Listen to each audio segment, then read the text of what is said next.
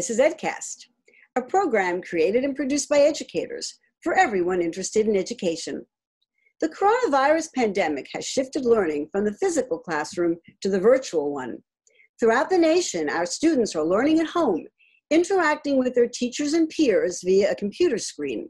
For most students, teachers, and parents, the change was a sudden one, leaving teachers little time to prepare and pushing parents and students into the world of homeschooling. The semester is now drawing to a close, and the finish line is in sight. It's time to reflect on what we've learned about remote learning and its impact on student success. Today, I'm joined by three teachers spanning kindergarten through high school and the parent of a second grader. We'll look at the challenge, victories, and the future of the online classroom. Now on EdCast. Andrea Fabrizio is an associate professor of English and chair of the English department at Hostos Community College, CUNY. She lives in Highland Mills, New York, with her husband and seven year old son, who is a second grader at Central Valley Elementary School in the Monroe Woodbury Central School District. Rafael Perez Segura teaches Spanish English dual language kindergarten at the Heketi Community Charter School. His teaching centers on using children's narratives in their learning. His students have been exploring some of the social, emotional aspects of the pandemic. Ailene Orr is a fifth grade teacher at the Heketi Community Charter School. She's an experienced bilingual educator, and she's worked with bilingual students in pre-K through fifth grade in Washington, D.C. and New York City. She is particularly interested in culturally relevant math education. Gregory Van Voorhis, known affectionately by his students as Mr. V, is an 18 year veteran public high school English and drama teacher at Millennium Art Academy in the Soundview area of the South Bronx. Gregory shares his passions as an independent filmmaker and theater director with all his students. Welcome, all of you, today. I'm so happy to see you all. We're going to start with Rafa, our kindergarten teacher, because really I am very concerned about with how this age group has been handling online learning. So tell us a little bit about what you found out about this experience, Rafa. What I have found out is definitely it's a big challenge. Uh, my priority this whole time has been my kids' social and emotional uh, and physical safety. And uh, that's been done through check ins with parents, through check ins with children, and trying to integrate as much of their current experience into the work we're doing online. What have you found to be some of the biggest challenges with this particular age group? Well, one challenge has been the actual act of doing Zoom lessons. Mm. Developmentally, some of my children are very distraught when they get on a Zoom because they see everybody else and they think that everyone is together except for them. So it's difficult for them to understand sometimes that we are all in separate areas. So as a result, Zoom check ins for me have never been a requirement. Rather, they've been an invitation for children that do benefit from it and who want to talk to others and who are comfortable doing that. Were they able to use the computer equipment? What was that like for them? We used a program called Seesaw, which works on a desktop, which works on an iPad, or it can work on a phone. And I, as we probably all know, our kids from a very young age are very adept at using tablets. so, uh, children with access to tablets have found it pretty straightforward on how to use the software. But that being said, uh, not everything translates very well reading instruction doesn't translate very well. Uh, and children have struggled at times with understanding certain mechanics such as recording yourself and um, or, uh, or, or or or what buttons to press to make sure you submit correctly so that's that's definitely been a challenge i know you have tried to use this time to help students really cope with all of the many crises that are swirling around them, and you've used some materials to help them make sense of what's going on.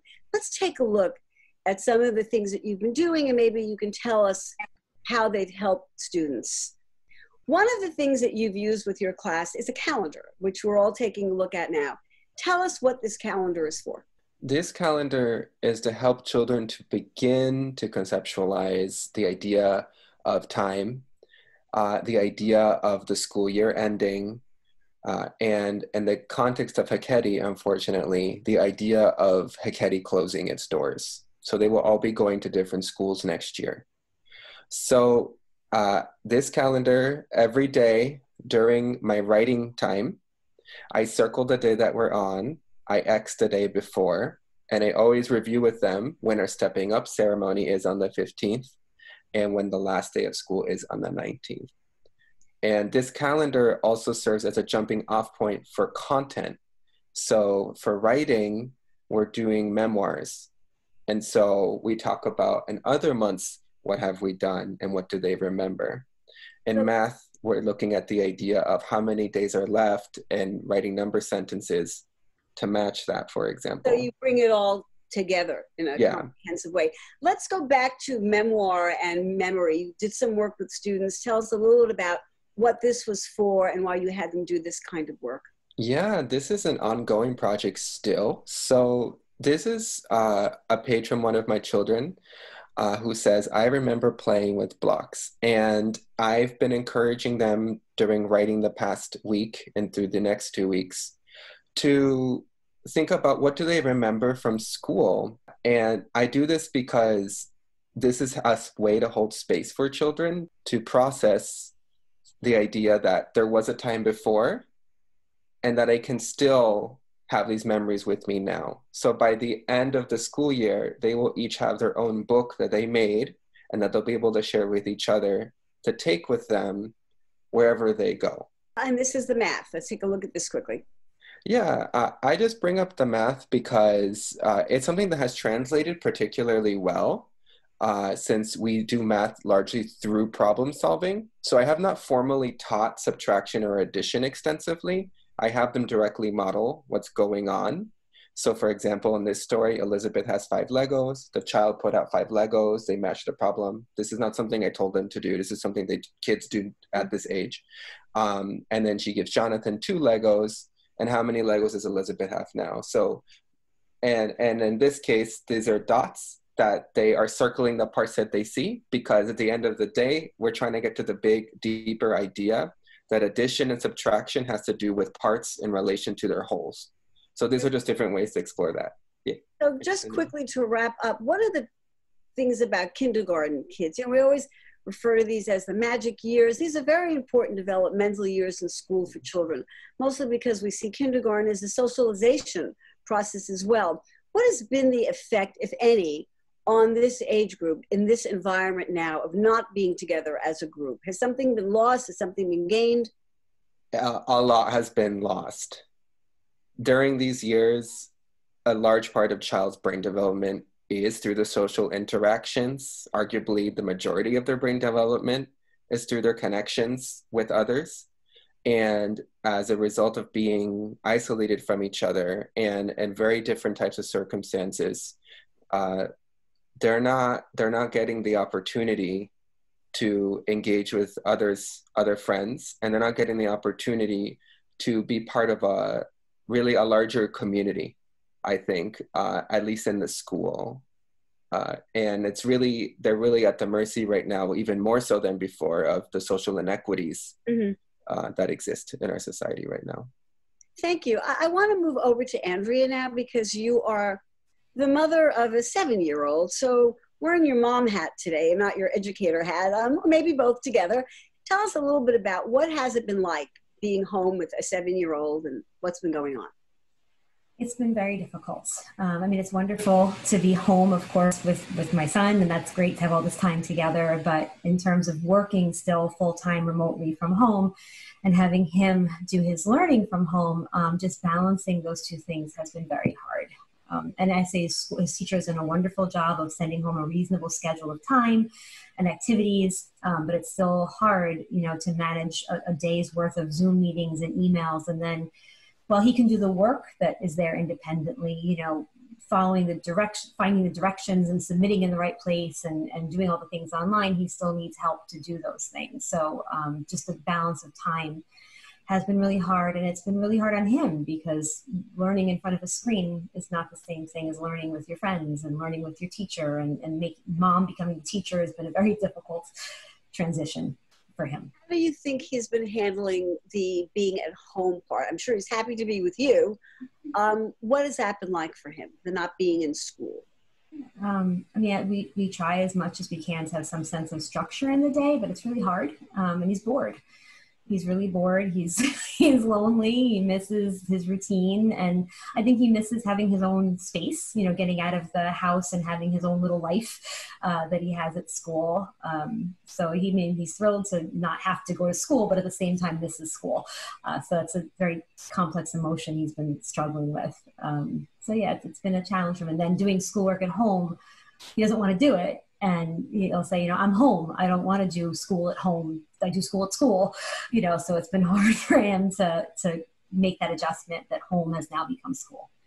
Is he able to do any of this work on his own? I'm sure as we get to the higher grades, the students can do it on their own. But a second grader, what's that like for him? I mean, he the concepts he can do on his own. Like once the screen is up and the, the reading passage is there, he can read it on his own and he can do the math problems on his own. But he needs help with where to click. You know, um, the typing has been a struggle. Um, you know, I, have I've become a scribe because it's just it's too frustrating. so the typing is a struggle. Um, all of that has been difficult. I mean, he's got the hang of Zoom meetings now. He can hand, you know, he can unmute himself and he can turn off his camera when he's when he's bored, which he, he does sometimes. Um, but you know, the actual switching from the math folder to the reading folder to the writing folder, he needs help with. Has there been any plus for you that you've seen? I mean, the only plus is that I really get a lot of insight into what he, he's learning, although I don't know if this is reflective of what he would have been learning if he was in school. So it's nice to see the curriculum so closely. Um, but that's really, you know, that's really it. I, I, I this has not been a good semester for him. And I, I feel bad too. I mean, when you said about the magic year, second grade is also sort of the end of the kid school, you know, and third grade is more serious business. So I, I feel bad that he's lost this last term of second grade. I'm wondering if we can maybe hear a little bit from Matthew himself, if you don't mind. I know we, I asked if maybe he'd like to just say a few words to us about what it's been like for him. Do you think he might? Yeah, How are you? Good. Good. Matthew, can we see your face up a little bit more? There you go. Hey, hi, good to see you. So, Matthew, this has been a very different kind of school year for you, right? The past couple of months have been very different, right? Uh-huh. You've been home and you've been learning with the computer a lot. So, what's that been like? Do you like this new way of school? No. Okay, well, tell us about it. What don't you like? That we're in our house and we still have to do work. It's basically like longer homework. What makes it hard to do the work, Matthew? That were in my our house. And that I have a puppy. So what do you like? Is there anything that you like about this? About being Mm. at home and doing your schoolwork from home? Is there anything that you like? Only that it's a little bit shorter. Ah, okay. And what do you like the least? What's the worst part of it? That we're in our house. That you're in the house. Do one last thing, Matthew. In the fall, do you want to go back to school or would you like to stay home and do your work from home? I'd rather stay here so I can play with the puppy and watch him. Home with your new puppy. I get it. Okay. Thanks a lot. Okay. Thank you. Ailene, let's go to you and talk about the fifth grade. All right. So tell us what have you seen as some of the big challenges with the children that you're working with? Yeah, so I'd like to echo some of um, you know what Rafa and Andrea have talked about. I think that the challenges um, can kind of be categorized in three main buckets. So there's the technology and digital literacy challenges, um, the pedagogical challenges, and then the social emotional challenges. Um, and so the biggest thing for me has been trying to balance um, the social emotional needs of the students and trying to really understand where each student is at, um, what you know what's going on with each family since everybody is dealing with this a little bit differently and then balancing that with the instructional needs um, of each student I want to take a look at some of the instructional work that you've been doing with your students. Okay, so let's take a look and tell us what it is and what it's supposed to help them with. What are we looking at here? So this is a tool that we're using called Pear Deck. Um, it allows students to interact with the material in a multimodal way. Um, so it has various different types of tools, including the drawing tools that you're seeing here. Um, so this is the objective that tells the students what they're going to be working on for the day. And they're using the drawing tools to be able to highlight the important words or the important information. It's a way to help them process what the lesson is going to be about. And the Pear Deck tool allows the students to interact in multiple different ways with the material, including listening to audio of my voice that's explaining what's on the slide. Um, and then they can respond um, to different prompts on the slides, either through typing responses, there's some multiple choice questions, there's some questions where they can drag and drop to respond. Um, and so we found this tool really useful as a way to provide um, an interactive model that doesn't necessarily have to be done live. And the next one, this? Yes, so this is also the drawing, um, the drawing tool, but I think it's helpful just to have students be able to um, manipulate the mathematical concepts. In the classroom, we use a lot of hands-on manipulatives, um, such as base 10 blocks or, um, you know, fraction strips, but that's harder in the um, online context. And so math is a little bit difficult to do on things like a Google Doc. Um, so we found this to be a way that they can still be able to manipulate the um, the mathematical concepts and not just be uh, you know just listening to a video. We really wanted to find a way that could be, like I said before, multimodal, a little bit more hands-on. Um, and we found that not all students were able to attend live Zoom meetings, so providing um, the flexibility to have that self-paced um, student work was important. I want to ask, I guess maybe the key question in all of this, how do you feel your students are learning and compared to how you feel they were learning in your face-to-face classroom? Yeah, it's math. I mean, you know. It's really difficult to assess that at the end of the day. I think that's um, one of the biggest challenges as a teacher is that it's hard to really know whether the work that they're submitting is work that they're doing independently, is that work that they're doing, um, you know, getting help from a family member, or perhaps using tools like a calculator or um, other materials that are available online. And so sometimes when we get the student work, it's really hard to parse out, um, you know, especially if it's done correctly, it, it's hard to tell whether that is um, you know, their own work. If there are mistakes, that's where I can get a better sense of where they're at because the mistakes really tell a story about what misconceptions they might have and, you know, what gaps might be there that I can help to address with the student. Um, and in the live Zoom lessons, you get a little bit more of a sense because you have more of that interaction, a little bit more back and forth um, when they respond to questions. So I think that, you know, for some students, it's worked really well. There's certain students who had chronic absenteeism that are now attending daily lessons and submitting their work, and it's actually worked really well for them. Um, there are some students that haven't been able to keep up with the work, and you know, for them, that means that they're they're missing out on almost a third of the school year. So it is truly varied. Great. Let's go to the high school student then, Greg. Let's hear from you. What have you seen as some of the biggest challenges?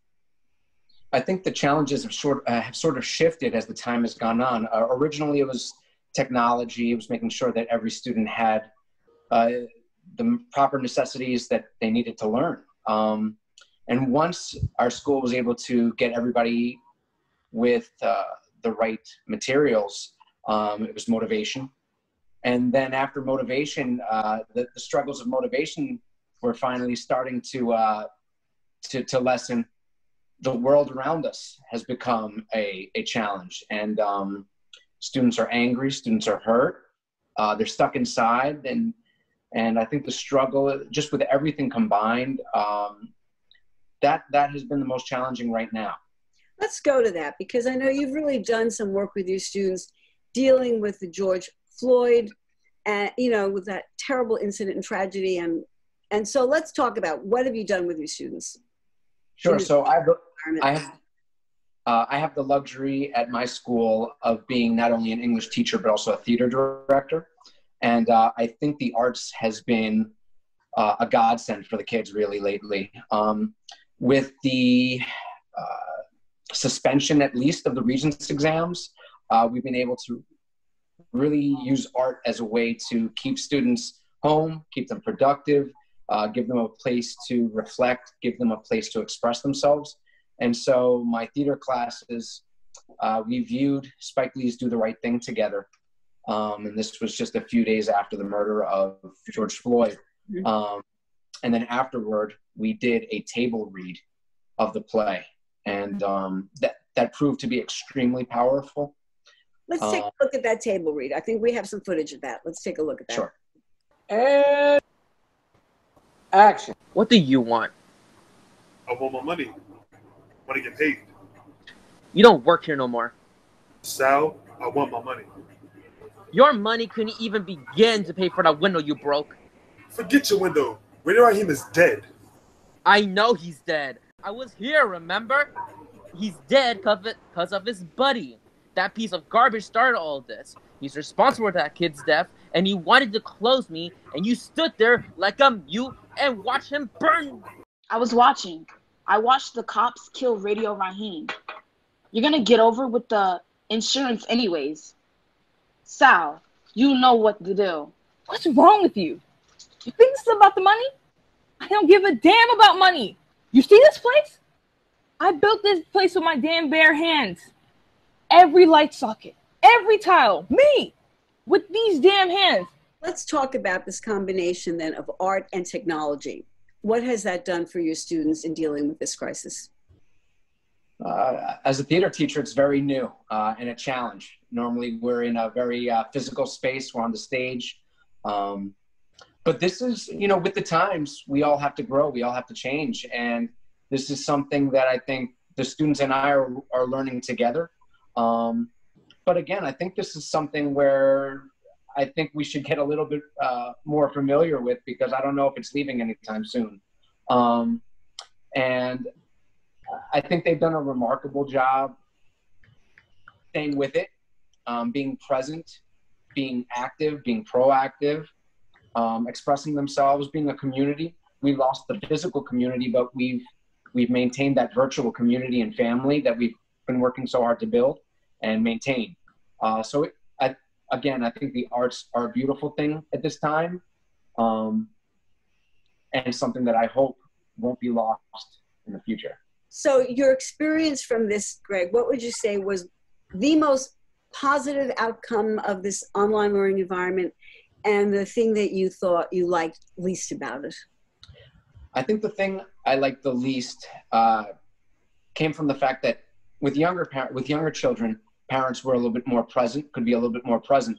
But when you've got a 17 year old, you're not going to have mom wake you up and check your homework assignment and go over the assignment with you.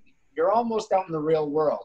And um, I think while they're not, while they are older, they're not yet fully adults and they haven't been uh, exposed to that responsibility just yet. So to to have that thrust upon them on a Tuesday in the middle of a semester uh, where they now have to be accountable for themselves, uh, was the most challenging. And I'd say probably the most rewarding, maybe the most surprisingly rewarding, was how we have maintained that family that we created at the beginning of the year and, and just have been there for each other, uh, them for me as well.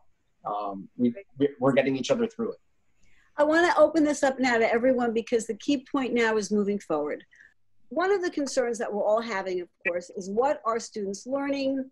And are they going to be ready for the work that's coming in the future? Yeah, I'm most concerned about students who have particular learning needs. So students with IEPs or students who are learning English. Um, I think it is a lot harder to provide those services online, particularly if there's also tech challenges or challenges going on at home.